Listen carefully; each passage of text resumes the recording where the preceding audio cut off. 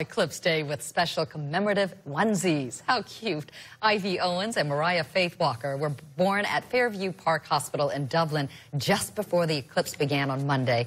The hospital had several other onesies ready for other babies born on the same day, Eclipse Day.